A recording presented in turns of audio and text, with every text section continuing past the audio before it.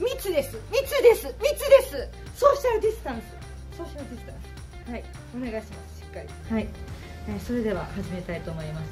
失礼します。え？今何時？都知事。小池百合子でございます。よろしくお願いします。すいません。今日ちょっとあの唇をつけてくるの忘れちゃいました。すいません。えー、本日はですね新規、えー、出廷者が6廷ということでございました、えー、あ違います？そういうことじゃないね。えー、えー、とですね、えー、ビーナスシリーズ。第10戦。優勝戦のですね、えー、予想でございますけども。はい。6号艇。緑緑でございます。6号艇。緑。ね。そうですよ。私が予想するんですから。それは緑に決まってるじゃないですか。緑を押しますよ。ね。えー、そうでしょ？まあ、でもね昨今ですね私、えー、まあ数ヶ月前ですか？東京アラートをですね発動しまして、まあ、レインボーブリッジと都庁を赤く染めてしまいました、まあ、ですので、まあ、3号艇の赤こちらもですね、まあ、外せないんじゃないかなとそう感じております、はい。まあ、それとですねやはり私のこの肌の白さここはですね白ということで1号艇、ね、来るんじゃないかなと、え、存じます。どうですか、ね、どうでしょう？ね。いやでもねこのヴィーナスシリーズ第10戦優勝戦。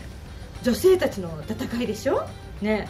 私ですね。あやっぱり、女性がもっともっとね活躍する社会をね作っていきたいとそう思ってますのでねどんどん頑張っていただきたいと思います。そしてねあのちゃんとね一応私もね予想したんです。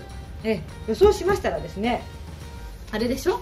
大村さんとこはあのこの一番内側の1号艇がねお強いと、えー、そう聞き聞きました。ね。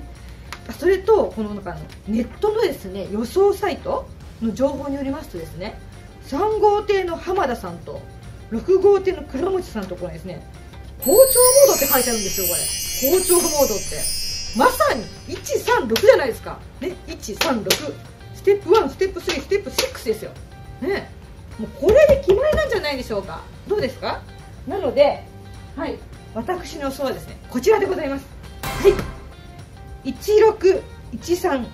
1613136163ね。